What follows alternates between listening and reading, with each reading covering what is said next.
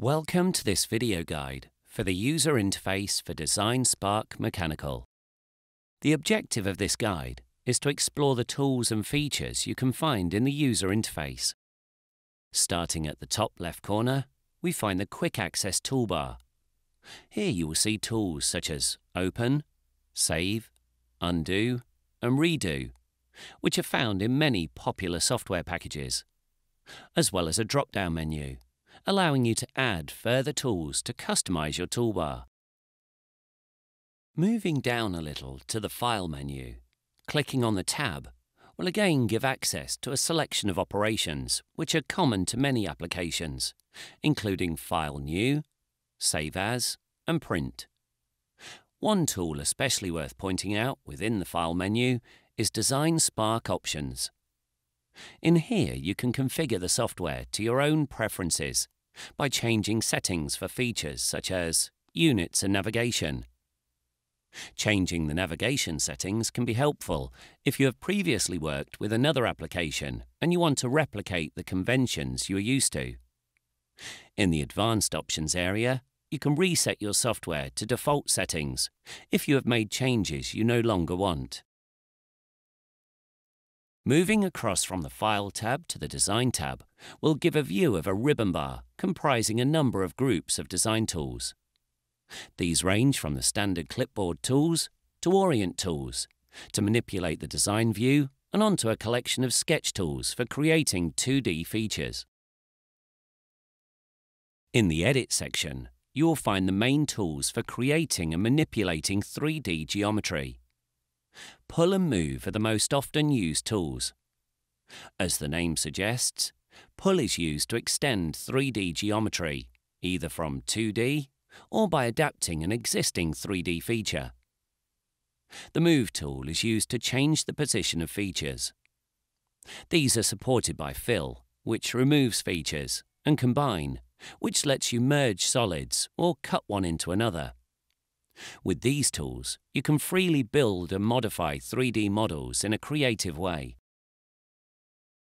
The Insert section provides tools which make it easy to add content to your designs in the form of PCB designs or other files you have access to, or 3D models from the web. The tools further to the right include measuring and dimensioning, and finally, the Bill of Materials options where you can choose to display the bill of materials in the design, and also use a web link to order your parts and have them delivered to you very quickly. The Display tab provides access to the ribbon bar for graphics-based tools, including the colour of the model, opacity, wireframe and so on. Moving back across to the left side of the screen, below the ribbon bar, we see the structure tree this tree will list everything present in the design window, such as solids, components and planes. In this example, there is one component and one plane in the design, and listed in the structure tree. Visualizing the design through the structure tree helps to illustrate the main difference between DesignSpark Mechanical, a direct modelling system, and the parametric CAD systems, which are in use today. Direct modelling is ideal for conceptual design and innovative modelling, because the model is free of the constraints inherent in parametric systems. Any feature of your design can be amended and tweaked at any stage, just as if you were working with a ball of clay. The Options panel below the structure tree presents selectable options to fine-tune the operation being carried out. For example, in pull mode, the options offered will be different from those in move mode. In a similar way, within the design window are a range of tool guides which enable a range of operations to aid developing the design. The panels on the left of the design window can be dragged and dropped to other locations around the screen, or can be pinned to the side of the screen to maximise the design window.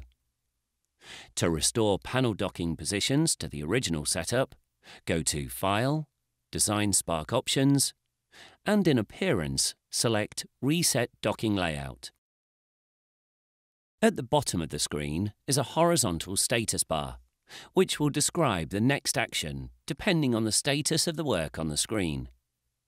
The same prompt will appear in the top left of the design window. Returning to the design window, let's look at what happens when we select on a part of a model. Depending on the type of feature selected, a mini toolbar will appear, offering easy access to the most popular options seen in the Options panel. This feature helps avoid sweeping the cursor back and forth during the creation of the model.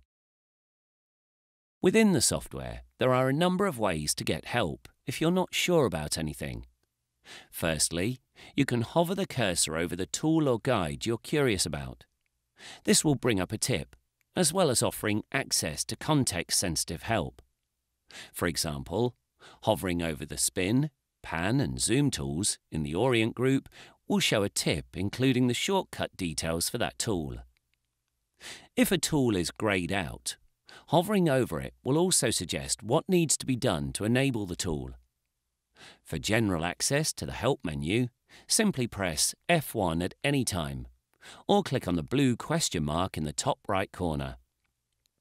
More help options are available in the Help and Resources tab, including a quick reference card with a host of tips for efficient use of the software.